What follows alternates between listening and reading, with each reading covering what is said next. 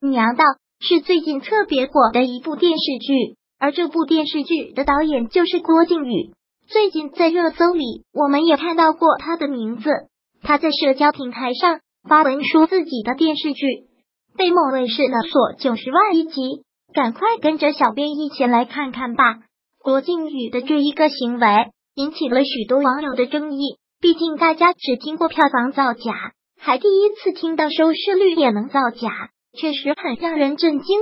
而郭靖宇的这个行为也得到了圈内很多人的支持，比如徐峥、赵文卓、古志新等。《娘道》是郭靖宇的最新作品，讲述了一个伟大的母亲独自养五个孩子的故事，非常的感人。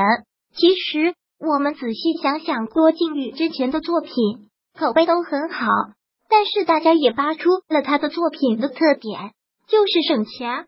郭靖宇拍的戏翻来覆去就是那几个人演，包括他老婆、弟弟、儿子、女儿等，一部戏里可以集齐全家人。也是让人眼前一亮啊！所以大家都说这个导演太会省钱了。首先说弟弟杨志刚，他是郭靖宇作品里的常驻男主角。刚入行的杨志刚，多数出演的是一些配角，一直到后来《勇敢的心》《打狗棍》等戏剧才开始演的主角。